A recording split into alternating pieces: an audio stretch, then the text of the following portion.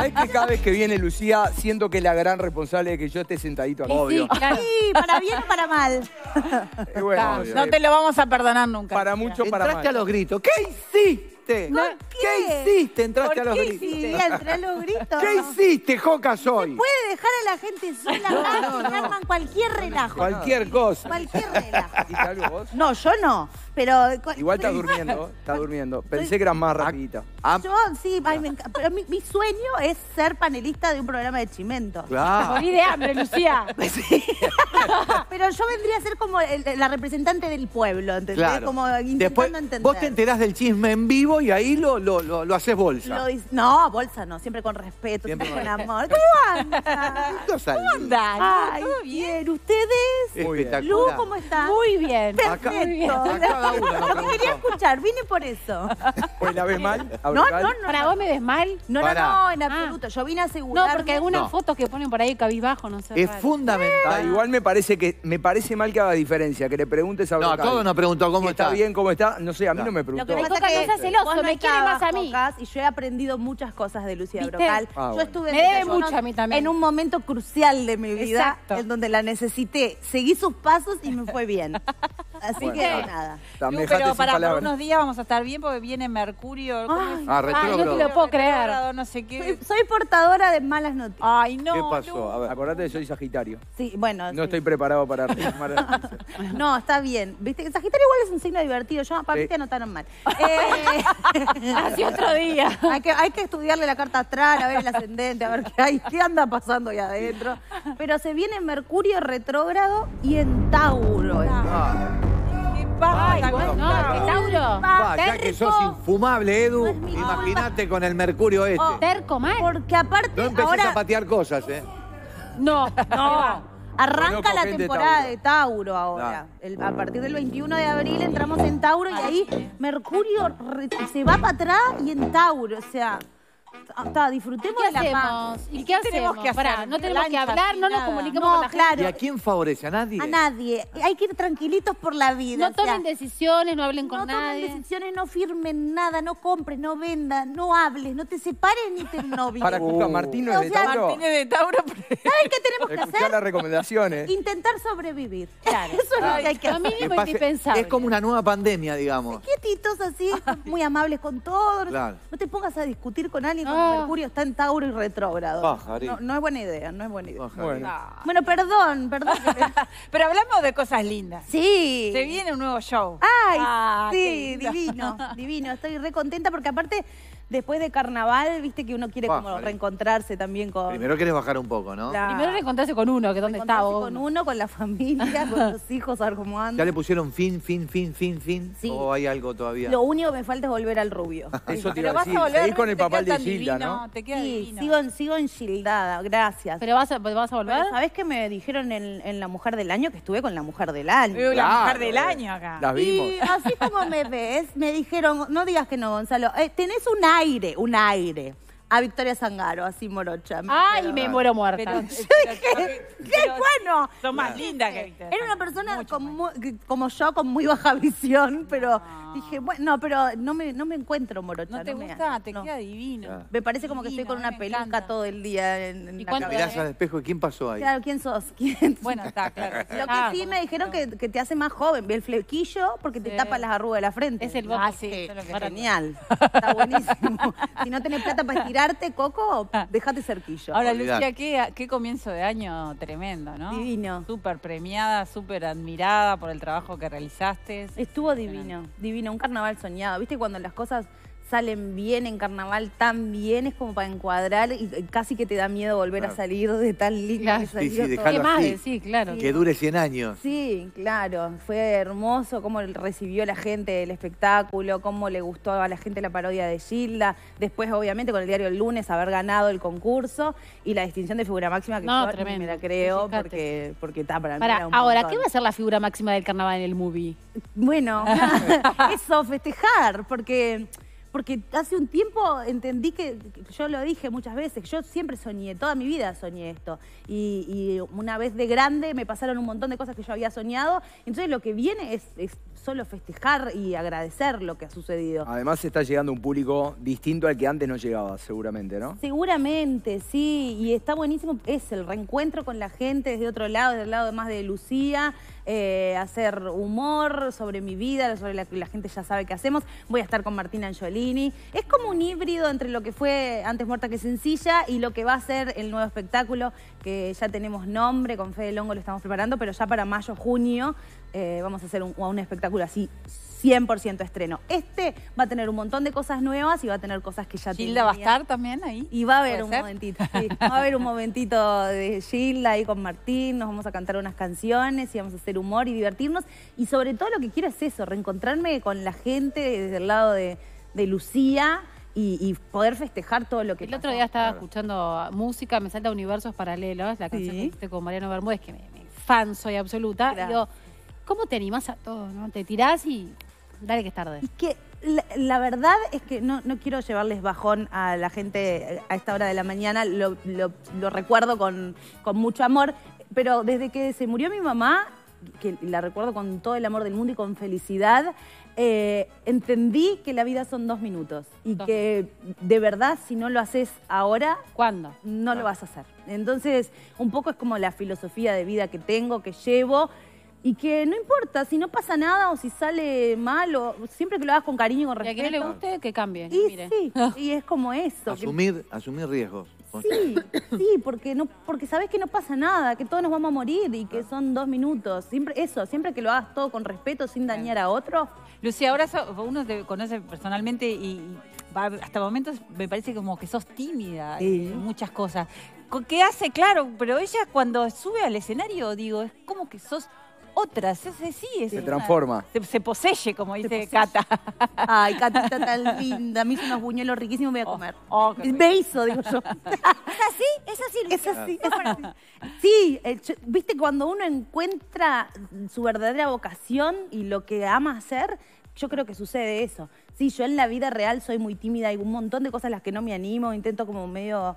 Me, me dan vergüenza un montón de cosas, pero sí, arriba del escenario es el lugar donde yo siento que tengo que estar. Entonces ahí sí sucede como la magia y le, le debe pasar a un montón de gente cuando, cuando encuentra verdaderamente su pasión. A mí me apasionan los escenarios, me apasiona lo que hago, de verdad. Te voy a hacer una pregunta que capaz que no es muy cómoda. Ojo. Ay, No, bueno, pero me parece que también está, está bueno compartirla. ¿Qué tanto tiene que ver eh, el éxito que está teniendo Germán, que es el papá de tu hijo, que es tu expareja, pero que los dos están en un momento tan especial? Más allá de la pareja ya fue, pero compartir el éxito los dos, siendo además padres y compartiendo al hijo que forma parte de la vida a diario, tanto en la vida de Germán, en el escenario, como te pasa a vos también. En realidad, yo eh, fue un trabajo que, me salió bastante mal por tu pregunta, de, de eso, ¿no? De, nosotros, si bien eh, trabajamos un montón de tiempo juntos, hicimos un programa que salió acá juntos, de, de pasar a ser colegas más que, que otro tipo de, vinculación. Y, y a mí me costó un montón, sobre todo, y, y esto lo digo porque lo he vivido, por mucho sacarme el mote de, la ex de. Que sé, porque lo, hemos hablado y además porque sé que no sucede, que él no era el ex de nadie. Pero yo durante un montón de tiempo era la ex de, la ex de, la ex de, la ex de, hasta que siento, chiquitito, no importa cuánto, que, que tengo mi propio nombre y que tengo mis propios logros y que hago mis propias cosas. Grande, chico, le Sí, gusta mucho, pero lo hago. Entonces, en realidad, eh, nada, yo ahora de verdad lo siento como un colega más, más allá de, obviamente, que vamos a estar vinculados toda la vida porque es el padre de mi hijo. Es, es un colega más para mí, y con el mismo respeto, como lo es Pachela, como lo es Keroglián, gente que, que hace lo mismo que uno, hace reír, pero no más que eso, no obviamente siempre se nos va a, a vincular de alguna manera. Pero a mí, me, si supieras lo que me costó dejar de ser la ex Es que no tengo dudas, por eso, por eso te lo pregunto. Por Sí. eso te lo pregunto, porque no es un, un ámbito sencillo, no es un ambiente fácil. No. Y es como muchos colegas, el hijo de, y no se lo pueden sacar nunca Ay, de arriba. tanto juntos Jugador de fútbol, lo que sea, en el ámbito que sea. ser el hijo de o la ex de te saca ese lugar de protagonismo, en definitiva, por logros personales que vos tuviste. Sí, sí, totalmente. Pero el, el logro, quiero que el logro compartido sea este que está acá, que es Claro. Mateo, y, después... lo ¿Qué logro? ¿Y qué logro? ¿Y ¿Cómo lo vive? ¿Cómo lo vive? Y él... Tus a dos hijos, ¿cómo lo vimos? Sí, Claro, porque- Feli, Feli tiene 14 años ya, entonces ella es está en otra adolescente, está en otra etapa, igual acompaña desde su lugar, es mucho más tímido, un sagitariano como vos, pero es mucho más tímido y acompaña desde otro lugar, quizás como más del espectador o de mirar y me manda algún mensajito si sale algo. Y Mateo tiene como o- o- dotes artísticos que yo los veo, no los quiero apurar, pero se le notan. Y a veces, como es de Tauro, lucha, es como un amor-odio Claro. entre... Hoy sí, mañana no. Claro, cuando quiere hacer algo o cuando no lo quiere hacer o cuando la gente lo saluda y está de buenas está todo bien, pero cuando Tauro está de malas, Oh. o sea, no le sacas una foto, ni un beso, ni un saludo, ni nada. Pero él tiene- canta muy bien, tiene un gran oído, está todo el tiempo haciendo percusión, así que sí, le veo como Te sacás, artísticos. te sacás, eh, yo cada vez que te he visto en escena, eh, yo veo una madre que está preocupada por todo el público. Que vos sabés cuando vas a salir quién está allá, qué está allá, y estás como preocupada de que todos estén pasando bien. Esa es la impresión que a mí me da.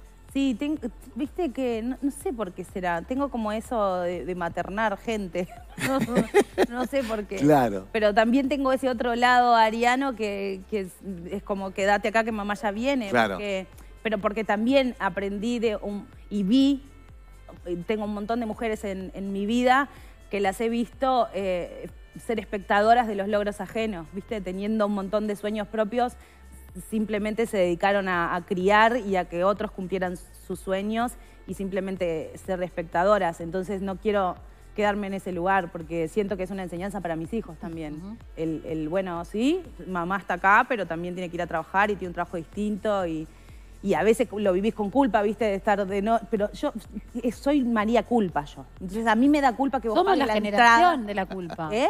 Generaciones de culpa. Claro. Sí, claro. Como me, ya Claro. me da culpa que pagues la entrada para venir, entonces quiero que la pases lo mejor Claro. posible. quiero que estés cómodo, Claro, que pero, veas bien, que pero a lo que voy es que, es que de repente no a todos los artistas les importa eso, y eso es un, un plus, porque lo transmitís. Sí. ¿Entendés? O sea, uno va, bueno, este es el espectáculo. ¿Te gusta o no te gusta? Bueno, chao. Que venga.